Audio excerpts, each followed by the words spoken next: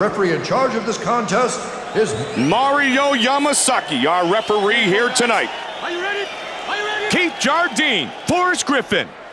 And here we go. Forrest Griffin competes at 205. He's always competed at 205 in the UFC, but, I mean, he walks around much larger than that. He is a huge light heavyweight, oftentimes walking around above 230 pounds before he begins his cut to get to the 205-pound weight limit.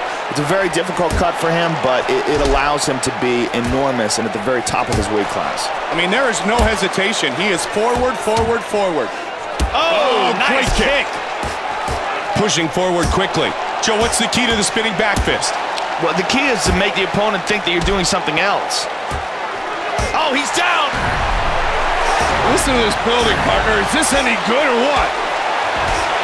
Trying to come around to the left. And they're going to stand him up. Let's see if it gets uh, a little faster toe-to-toe. Nice left hands.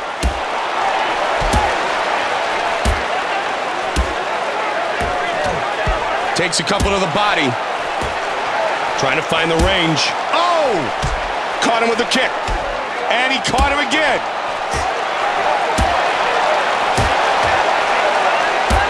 That one hurt.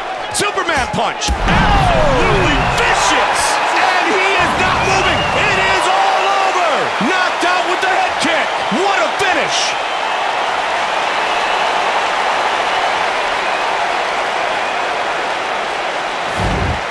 Let's see it one more time.